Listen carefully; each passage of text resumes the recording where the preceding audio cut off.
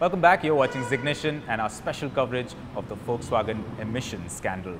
Now, Adil, uh, what kind of sweeping or far-reaching changes can we see from regula regulators going forward uh, in order to prevent an, an, incident like this from happening again? Uh, regulators are actually speaking in the developed world, which I mean by USA and Europe.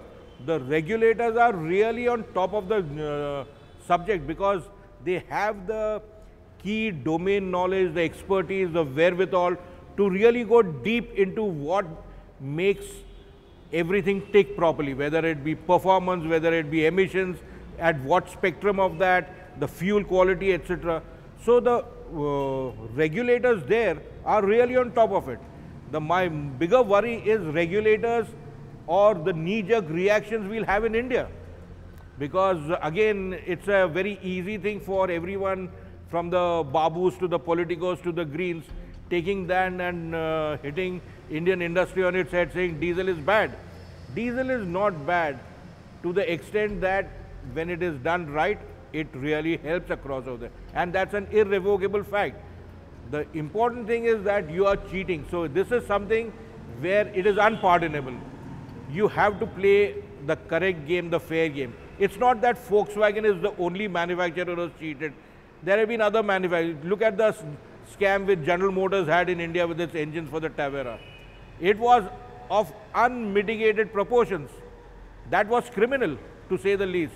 Then the same thing, General Motors with its Cadillac, which started to do diesel about two decades ago in the USA. It also took shortcuts there. Ford and the Firestone tire problem. There are lots of details like that. But most importantly, I think you need to be humble you need to come back and you need to finish this issue at the earliest. And finish this issue is not by getting authorities to soft pedal this thing and put it under wraps, but to address it from a technological viewpoint and convince that thing, the regulators that what they get on, the readings they get on the test bed are actually what is the manner that these cars perform even in the real world. I think that is very, very vital. Adil, bringing in the Indian perspective, do you think that uh, regulators in India like the uh, ARAI, do you think that need, they need to be geared up better in oh, order to prevent an incident like oh, this? Oh, sure. It's a very valid question. I think uh, India is one of the few countries in the world, or rather it's about to become the third or the fourth, it's already the fourth largest market in the world as far as cars is concerned. We have a regulatory body which is completely funded and subscribed to by industry. So I'm not saying or I'm not casting aspersions on that, but I would have been much more better served if this was an independent body from the manufacturers. No funding there, nothing. The government funds that thing. It is be beyond any tugs and pulls of favors from any source across over there. The ARAI can continue to be the research and development body guiding manufacturers. But as a regulatory body confirming, asking manufacturers to conform to changing regulations, whether it be emissions, noise, CO2, end of uh, cycle thing. You have to have something where industry doesn't subscribe to that. So I think we need to do some soul searching there. All right, uh, finally, uh, let's look at it from the manufacturer's point of view. Do you, do you suppose that uh, US and Euro norms are so stringent that uh, manufacturers have to resort to these uh, techniques or is this just a one-off case? Uh, let me give, put this in a little context.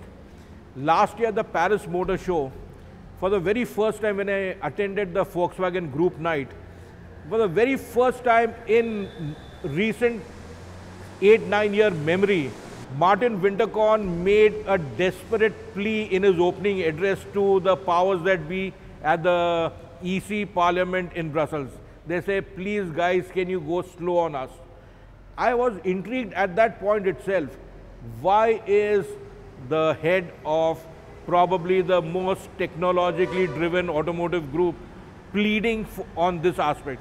I think today I know, or the, rather the world knows, that there was quite a lot of significance there. But I think industry has to rise to that challenge. Whatever are the emissions set, whether they are physically possible or not, they will have to find solutions.